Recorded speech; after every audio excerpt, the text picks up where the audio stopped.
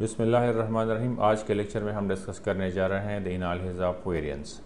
Analysis of variance है क्या चीज़? इसके इम्प्लीकेशंस क्या है? मीन की इक्वलिटी टेस्ट करने में और रेग्रेशन एनालिसिस में। तो आज हम ये सारी चीज़ें डिस्कस कर लेंगे। तो सबसे पहला क्वेश्चन ये है कि एनालिसिस ऑफ़ वेरिएंस क्यों ज़रूरी है? Why it is important why do we use ANOVA तो इसका आंसर इतना आसान नहीं है। इसके लिए हम एक एग्ज़ाम्पल लेंगे। ठीक है? फॉर एग्ज़ाम्पल अगर हमारे पास टेन पॉपुलेशंस हैं let we have ten populations और वो पॉपुलेशंस हमारे पास है P one P two P three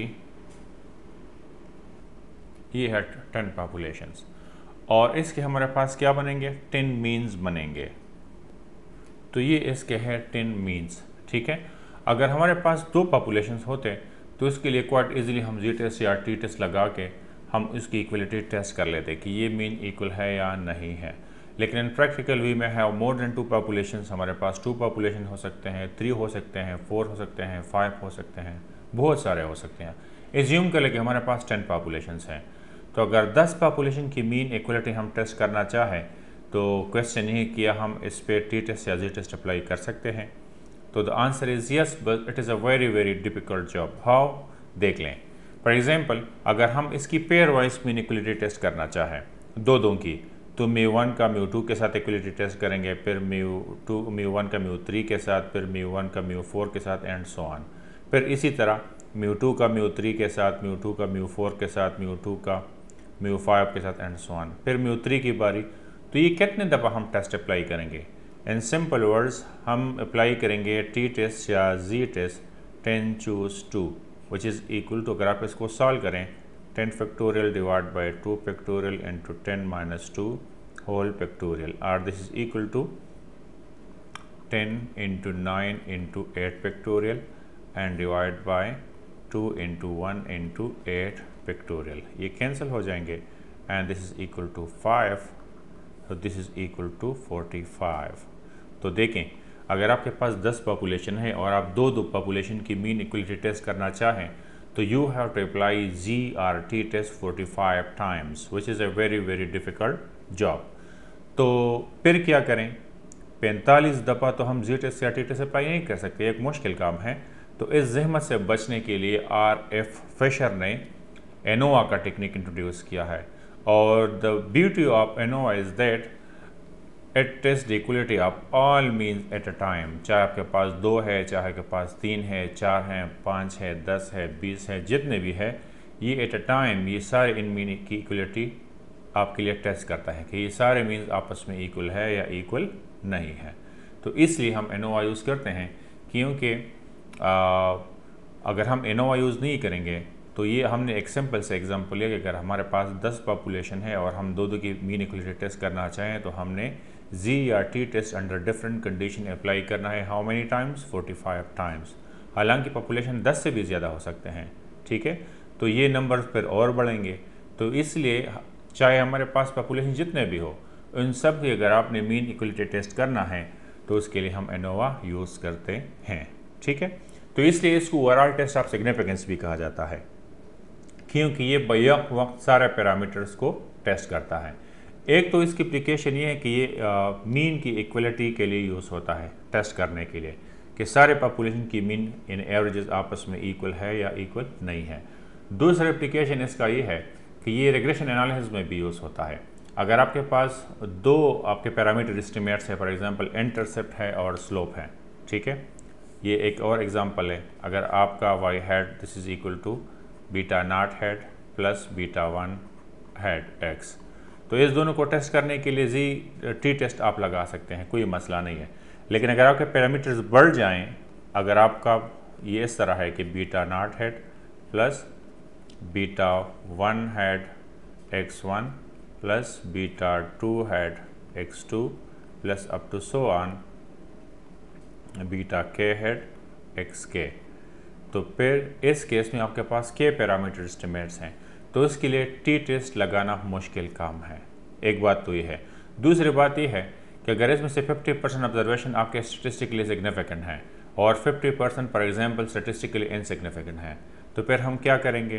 तो फिर टी टेस्ट फेल हो जाता है। क्योंकि उनको नहीं पता कि इस ओवरऑल मॉडल को हमें एक्सेप्ट कर लेना चाहिए या नहीं या नहीं एक्सेप्ट कर लेना चाहिए। फिर उस केस में आपको एनोवा की ज़रूरत पड़ती है। क्योंकि इनोवा एट ए टाइम आपको सारे सब कुछ के बारे में बताते हैं, सारे पैरामीटर एस्टिमेट्स पूरे मॉडल के बारे में बता देता है कि इस पूरे मॉडल को एक्सेप्ट कर लेना चाहिए या नहीं करना चाहिए। तो पहले हम इसकी इम्प्लीकेशन पढ़ेंगे मीन की इक्वलिटी के लिए कि ये सारे मीन्स आपस में इक्वल है या नहीं है। फिर हम इसकी इम्प्लीकेशन पढ़ेंगे रिग्रेशन एनालिसिस में कि ये सारे पैरामीटर्स इस्टीमेट्स जो है, ये स्टेटिस्टिकली सिग्निफिकेंट है या स्टेटिस्टिकली सिग्निफिकेंट नहीं है। तो this is why do we use ANOVA okay तो पहले हम एनोवा टेस्ट अप्लाई करते हैं मीन की इक्वलिटी टेस्ट करने के लिए और फिर हम इसको रिग्रेशन एनालिसिस में अप्लाई करेंगे। तो लेट स्टार्ट इट एनोवा को स्टार्ट करने से पहले मीन की इक्वलिटी टेस्ट करने के लिए हमें पता होना चाहिए कि one way analysis of variance क्या है two way analysis of variance क्या है। क्योंकि analysis of variance can be apply to one way one way analysis and two way analysis ठीक है? तो वन वे एनालिसिस क्या है? वन वे एनालिसिस ये है कि अगर आपके पास सैंपल्स गिवन है डिफरेंट पॉपुलेशन से कॉलम वाइज ठीक है? फॉर एग्जांपल इस तरह है कि आपके पास कुछ सैंपल्स हैं सैंपल वन है सैंपल टू है सैंपल सैंपल थ्री है एंड सैंपल फोर है।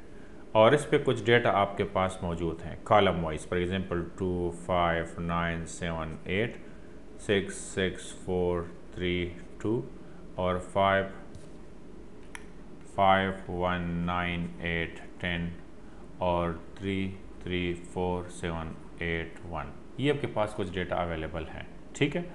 अब देखें, ये डेटा हमारे पास किस तरह है? कॉलम वाइज तो हम कॉलम वाइज इसकी मीन इक्वलिटी टेस्ट करते हैं, ठीक है?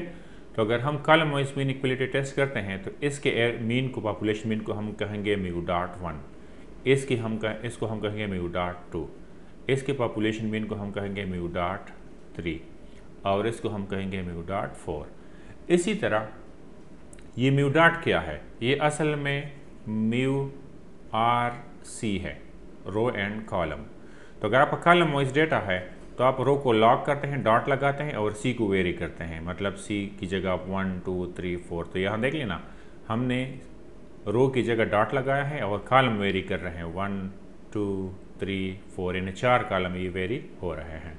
ठीक है? अब इस तरह है कि अगर आपके पास रो वाइज डेटा है, इस तरह आपके पास वही सैम्पल्स हैं। सैंपल वन है सैंपल टू है सैंपल थ्री है। तीन सैम्पल्स हैं फॉर एग्जांपल और इस पर कुछ डेटा आपके पास गिवन है। इसमें भी कुछ for example nine seven eight two four और this is three three three three ten four two and seven nine eight eight seven तो आप देखें, ये रो वाइज डेटा है हमारे पास। तो रो वाइज भी हम मीन की इक्वलिटी टेस्ट कर सकते हैं। तो अगर आप रो वाइज मीन का जो है, उसके नोटेशंस क्या होंगे? Mu one dot mu two dot mu three dot बात समझ में आ रही है? इसमें यह है कि देखें आपके रो वेरी कर रहे हैं, लेकिन कलम आपके कांस्टेंट हैं। तो देखिए, रो आपके वेरी कर रहे हैं। Row one, row two, row three, ठीक है? इस तरह। तो कॉलम वाइज की मीन के लिए नोटेशन है। डॉट पहले लगेगा और वन टू थ्री बाद में लगेंगे। और रो वाइज मीन के लिए वैल्यूज़ पहले लगेंगे और डॉट बाद में लगेंगे, ठीक है? तो ये हमारे पास अगर हम row wise mean equality test करना चाहें या column wise mean equality test करना चाहें तो उसको हम कहेंगे one way analysis one way analysis में आप क्या करते हैं? कि आप या तो row wise mean equality test करते हैं, या फिर column wise mean equality test करते हैं. टू वे एनालिसिस क्या है? टू वे एनालिसिस में अकॉर्डिंग टू बोथ करेक्टरिस्टिक हम, अगर हमारे पास डेटा इस तरह है कि फॉर एग्जांपल इस तरह है कि अगर आप मिल्क प्रोडक्शन लें, यहाँ पे ब्रीड आप काओ लें. ब्रीड आप काओ और यहाँ फ़ीड डिफरेंट फीड्स आप उनको खिला रहे हैं। तो देखें breed one breed two breed three और ब्रीड फोर और ये हमारे पास है feed one feed two feed three feed four feed five चार किस्म के गाय हैं हमारे पास और पाँच किस्म का चारा है हमारे पास, ठीक है? और यहाँ मिल्क प्रोडक्शन है। For example three litre five litre ten litre eleven ten और यहाँ eleven ten fifteen ten nine और यहाँ six seven eight nine eleven और यहाँ ten ten twelve sixteen five तो देख लें, एक क्रॉस ब्रीड भी आप एवरेज टेस्ट करते हैं कि क्रॉस ब्रीड हमारे पास मीन इक्वल है या इक्वल नहीं है। तो चार ब्रीड्स हैं, चार तक हम आएँगे, यानी म्यू डाट वन और mu dot two mu dot three and mu dot four. ये चार इक्वल है या इक्वल नहीं है तो ये कॉलम वाइज हैं। और इसी तरह, mu one dot mu two dot mu three dot mu four dot and mu five dot देखिए क्रॉस स्पीड्स भी air milk average production equal है या इक्वल नहीं है। तो देखें अकॉर्डिंग टू बोथ करेक्टरिस्टिक अगर हम मीन इक्वलिटी टेस्ट करते हैं across rows and across columns तो फिर हम उसको कहें टू एनालिसिस ऑफ़ वेरियंस तो एनोवा हम अप्लाई करेंगे दोनों केसेस में भी। मतलब हम इसको अक्रॉस रोज़ या अक्रॉस कॉलम अप्लाई करेंगे और according to rows and according to column simultaneously time हम इसकी भी इक्वलिटी टेस्ट करेंगे। तो अगर आप सिर्फ़ row wise mean equality test करते हैं या सिर्फ़ column wise mean equality test करते हैं तो उसको हम कहेंगे one way analysis of variance लेकिन अगर हम side by side row wise mean equality और कॉलम वाइज मीन इक्वलिटी दोनों के एट टाइम टेस्ट करते हैं तो फिर हम उसको कहेंगे two way analysis of variance हम दोनों पढ़ेंगे। पहले हम डिस्कस करेंगे one way analysis of variance फिर हम डिस्कस करेंगे two way analysis of variance ठीक है? ओके तो इस पर एग्ज़ाम्पल करते हैं।